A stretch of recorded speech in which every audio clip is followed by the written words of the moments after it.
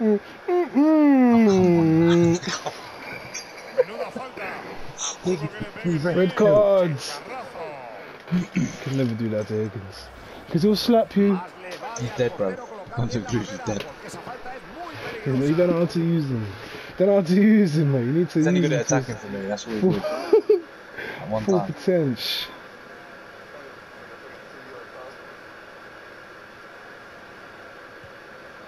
El portero atrapa este Keeper. lanzamiento Oh, falta.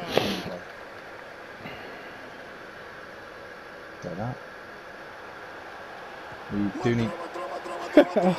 But remember when I told you that my guys' volleys are amazing, bro? My guys' volleys are outrageous, fam.